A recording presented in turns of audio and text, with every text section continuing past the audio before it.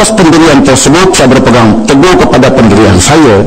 Itu sebab saya mengatakan bahawa kalau ruling saya dalam hal ini tidak juga diterima maka saya tidak teragak-agak. Saya bukan mengugut kerana itu pendirian saya.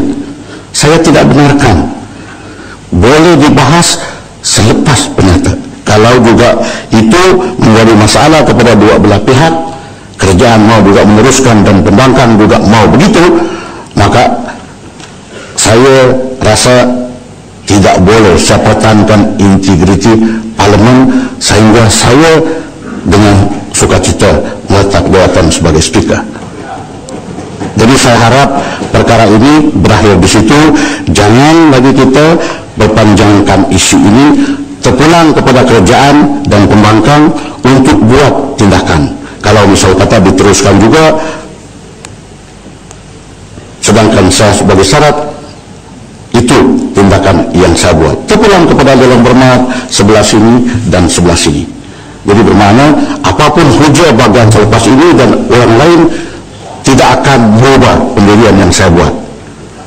Masih, saya kasih peluang kepada uh, Terima kasih. Pertanyaan Please, Tan Sri Speaker, I got a few other questions. Okay, saya faham apa yang disebut oleh Tan Sri Speaker dan saya tidak mencabar Tan Sri Speaker di sini. Saya tak mencabar. Walaupun tak setuju, saya tak mencabar keputusan Tan Sri Speaker. Saya hanya ingin mendapat penjelasan. Saya hanya ingin mendapat penjelasan seterusnya mengenai perkara-perkara yang selanjutnya berlaku selepas uh, petua dibuat oleh Tan Sri Speaker semalam.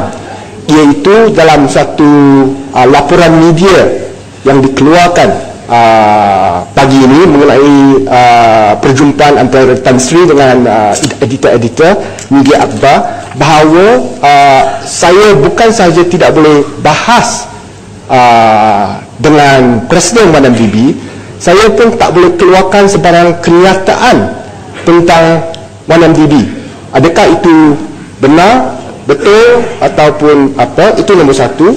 Nombor dua kalau tak boleh keluarkan kenyataan adakah juga saya disekat daripada membuat ucapan dalam dewan juga mengenai isu MMDB dan nombor tiga uh, Tan Sri Speaker telah pun membuat petua bahawa kalau Presiden MDB berbahas dengan saya beliau juga akan uh, tidak tidak layak untuk datang ke ke mesyuarat PSC untuk uh, soal jawab. Adakah kalau Encik Arul Kanda membuat perbahasan dengan orang lain mengenai isu yang sama adakah beliau juga sama sekali akan disekat daripada datang ke PAC so tiga soalan ini saya rasa terpaksa dijawab mengikut berikutan dengan keputusan yang telah pun dibuat semalam. Minta penjelasan Tuan Sri.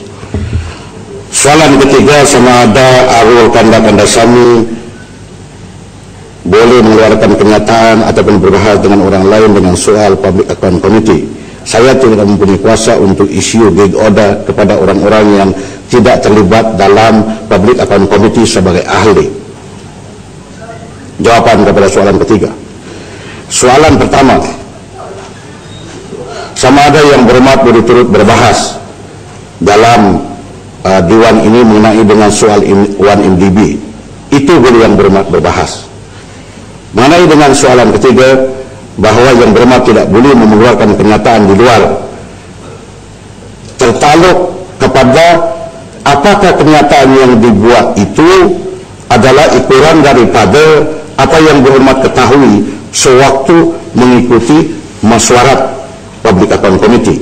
Yang tidak boleh saya pisahkan di sini ialah pengetahuan ataupun keterangan ataupun apa-apa yang yang bermak dapat ketahui dalam public account committee dan keterangan yang akan yang berhormat buat di luar.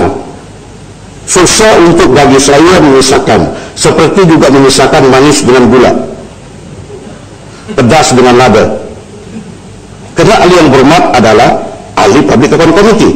Saya pernah baca tadi satu authority etika yang harus diikut ialah tanya kepada diri ahli yang berhormat etika ialah kalau sekiranya dinampak bahawa ada personal interest mesti kita tidak melibatkan diri dalam penyiasatan personal interest yang bermak di sini you are the most vocal yang timbulkan isu yang di yang bermak sendiri